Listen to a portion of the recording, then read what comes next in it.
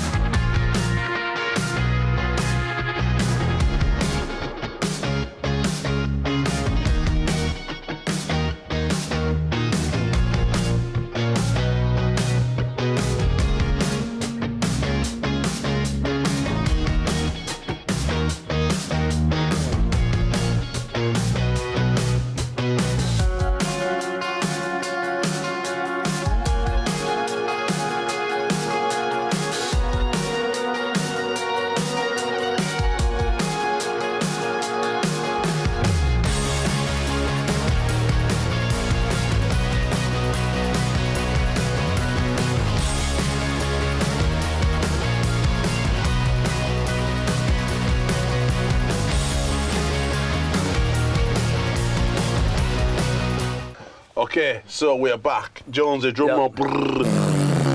That's not a drum roll. No, it's a. It's uh, it's So, gunshots. AK-47 I'm really kids. excited though. It's a good. no, no, it's probably not kid best. no. but uh, anyway, it's my version of a drum roll, and my winner this week.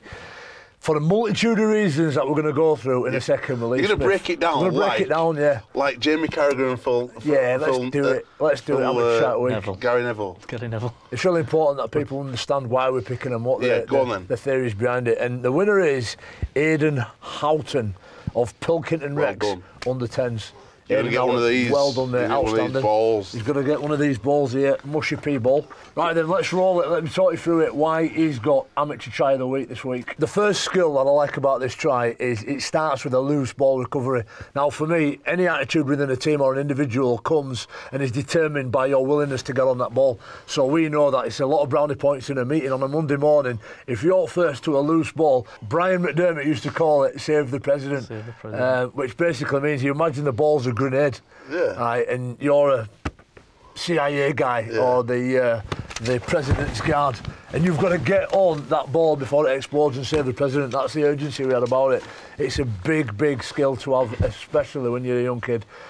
And then he starts running, and he's got a left foot step, a right foot step. The only thing I'd like to see, Smithy, I don't know about you, is the ability to transfer the ball and maybe palm off. Yeah. Because when you're in centres especially, it's a really important skill to have, isn't it? Definitely, yeah. Something I wasn't great at. I could never hold the ball in my left hand. We're always right-handed dominant, yeah. So he, the, the, the young lad, is it Aiden? When he Yeah. goes, if he can switch ball to left hand and fend the kid, he's off. Then he's got the speed, the pace, and the endurance to make it to the line. But once he gets there, a really important part for me, and you might think this is obvious, but last year we were struggling to kick goals, and for whatever reason we scored loads of tries, some of which were failed to score under sticks when we had a free run there.